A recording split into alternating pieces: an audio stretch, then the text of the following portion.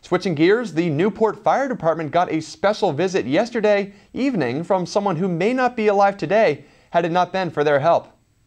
Local businessman and former co-owner of the now defunct Violette supermarket, Dana Violette, stopped by the department to thank the first responders who had resuscitated him after he suffered a heart attack back in May.